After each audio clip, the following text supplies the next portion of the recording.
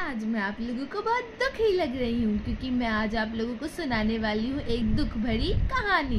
तो आइए देखते हैं एक दुख भरी कहानी पे मेरा रिएक्शन अक्सर लोगों ने आपकी सक्सेस देखी है लेकिन मैं आपके बचपन के बारे में भी जानना चाहती हूँ। कुछ तो परेशानी में गुजरा होगा बचपन। मैंने माना कि अब अब एक एक लेवल आ गया है आप चाहे उसको स्टार समझिए या कुछ बिज़नेस समझिए लेकिन बचपन बहुत अजीब रहा है। उस वक्त में हमारे घर में सिर्फ़ पाँच मेट थी। बहुत अजीब लगता था जब पापा को देखता था वो कच्ची सड़क पे 20-20 kilometre B M W seven series से ट्रैवल करना। हमारे पास सिर्फ़ विंडो एसी हुआ करता था। सिर्फ़ विंडो एसी। हमारे बचपन में वो भी नहीं था। स्प्लिट के हालात थे लेकिन सिर्फ़ दो कमरे के।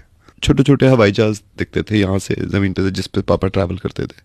हाथों में सिर्फ़ यहाँ यहाँ तक कंगन बहुत होते थे सोने के सिर्फ़ यहाँ यहाँ तक मैं देखता था मैंने कहा मम्मी यहाँ से यहाँ तक के कहाँ है? लोगों ने सिर्फ़ मेरी सक्सेस देखी है। उसके पीछे की कहानी आज मैंने बताई है आपको।